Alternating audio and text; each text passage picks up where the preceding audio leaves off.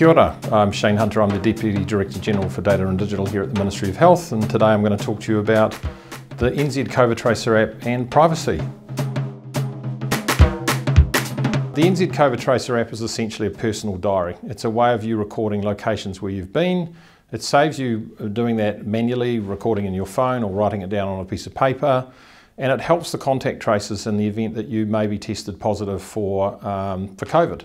Um, you'd be surprised actually when you are under pressure having, for example, uh, been told that you've tested positive for COVID and you're dealing with contact tracing service, how hard it will be to recall where you've been. And if you think about where you've been in the last two weeks, could you really remember everywhere you've been? So that's the purpose of the NZ COVID Tracer app. The data doesn't go anywhere unless you authorise it to. So everything that you do with your phone, every QR code that you scan is recorded on your phone and that goes nowhere until such time as you are tested positive and at that point you will be asked by the contact tracing people if you are prepared to release your data. You don't have to release your data in fact. You could sit there and read your diary from your phone and they'll ask you a number of questions to understand where you've been because it may not be the entire history of where you've been. Um, but that data stays on your phone uh, unless you authorise it to be released.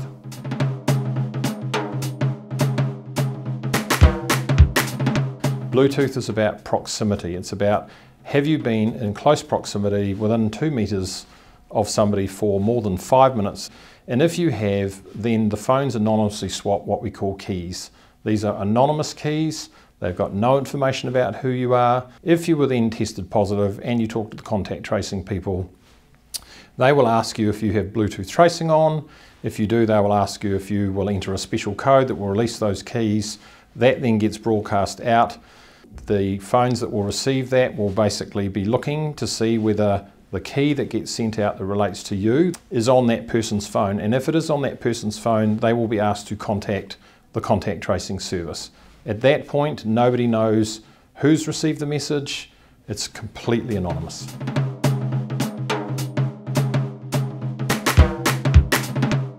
Now, when you scan a QR code, there is a little tiny bit of information called, uh, I'll call it a ping. It simply says to, um, to us at a national level that somebody has scanned a QR code. It doesn't say where they've scanned it, it doesn't say what QR code they've scanned, it doesn't say what phone was used. It says absolutely nothing except for the fact that you have scanned a QR code. And that is the information that we use to get a, an understanding of who has, or the number of people that have been scanning. We can't even tell you where in New Zealand people are scanning, we can only tell you that people have scanned and the number of scans that have happened in a particular period of time. So again, it's very private.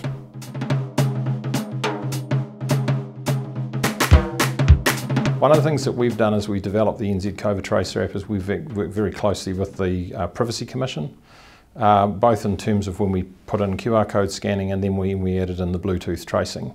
Uh, at all stages we've involved them, at all stages we've got their confirmation that the information is private. We've also had it tested from a security point of view to make sure that, that the system is robust and secure and information can't be infiltrated. It is actually locked in on your phone. It is encrypted on your phone, which is technical speak for scrambled up so that no one can just see it. The only person that can see the information is you when you have your phone open and you look at your digital diary.